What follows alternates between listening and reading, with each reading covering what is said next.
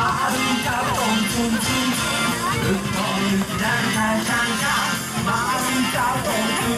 こんにちはありがとうございます。武藤から来ましたの元気をしております。ゆきながさんですよろしくお願いいたしますありがとうございますこさんはですね武藤城市だった小西ゆきながをモチーフにしております。はい、さん。さん。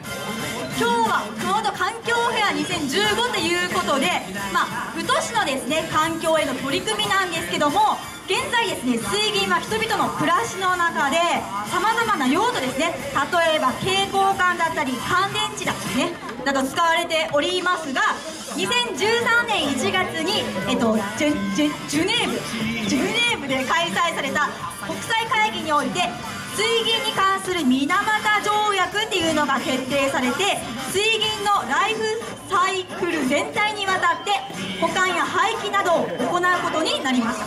ですね。武藤市においても今まで蛍光管、ね、についてはリサイクル回収を行ってきましたが今月5月から乾電池水銀体温計や水銀血圧計のリサイクルを開始。始めました。池永さん知ってた？知らなかったろ知らなかった知ってたね。はい。でですね宇土市は環境に優しく住みよい街づくりを目指し今後とも廃棄物のリサイクルを推進していきたいと思います。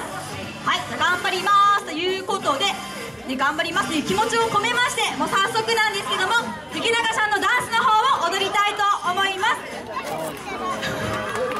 ありがとうございます。